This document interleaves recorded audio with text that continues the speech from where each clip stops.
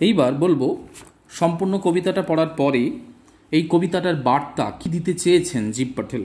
সেটা হচ্ছে, প্রচুর হিংসা, আমাদের হিংস্র দিক ব্রুটালিটি অব হিউম্যান বিইংয়ের দিকটা দেখিয়ে কবি সত্যিকারে অহিংসার জীবন দর্শনকে উৎসাহ দিতে চাইছেন। গাছ কি পরিমাণে আমাদের অত্যাচার সহ্য করে তবু আমাদেরকে ক্ষমা করে দেয়। কিন্তু আমরা তাদের প্রতি কি নিষ্ঠুর আচরণ করি? এই সমস্ত প্রতিকূলতাকে অগ্রাহ্য করে গাছ কীভাবে বেড়ে ওঠে? কিন্তু আমরা এই নিধনযোগ্য চালিয়ে যাই। এতটুকু প্রকৃতিকে ক্ষমার চোখে দেখি না। সুতরাং এত হিংসা প্রেজেন্টেশনের মাধ্যমে কবি অ্যাকচুয়ালি আমাদেরকে প্রকৃতির প্রতি, গাছের প্রতি অনেক অনেক বেশি দয়ালু হতে বলছেন। সভ্যতা আমাদের মানব সমাজকে রক্ষা করতে গেলে আমাদের গাছের প্রতি আরও আরও বেশি করে সহানুভূতিশীল হতে হবে। গাছেদের প্রতি, প্রকৃতির প্রতি, বাস্তুতন্ত্রের প্রতি আমাদের বেশি আরও বেশি বেশি করে মমত্ববোধ জাগাতে হবে। আর গাছের যন্ত্রণাকে উপলব্ধি করতে হবে। গাছও যে প্রাণ আছে, সেটা আমাদেরই বাঙালি বিজ্ঞানী আচার্য জগদীশচন্দ্র বোস সারা পৃথিবীকে বিশ্বকে জানিয়েছেন।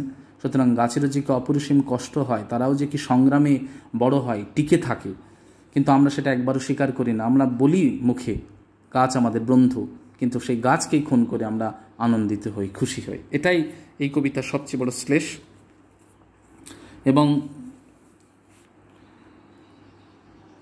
যে কনফ্লিক্টটা বললাম, যে সূর্য, বাতাস বা আমরা যারাই পজিটিভ ভূমিকা মাঝে মাঝে নিই, আবার আমরাই একটা বিপরীত ভূমিকা নিচ্ছি। সুতরাং আমাদের জীবনটাও কনফ্লিক্ট বা দ্বন্দ্বে ভরা। এখানেও সেই দ্বন্দ্বটাকেই কবি তুলে ধরেছেন অনকিলিং আর ট্রিতে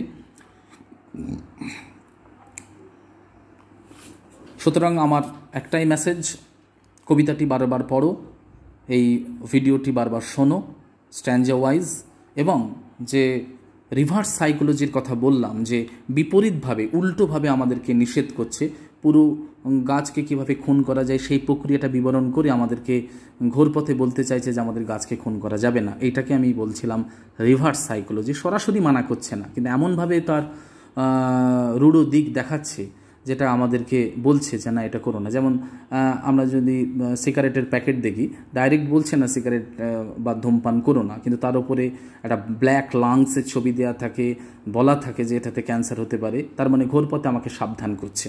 সুতরাং এই রিভার্স সাইকোলজিটা আশা করি বোঝাতে পারলাম।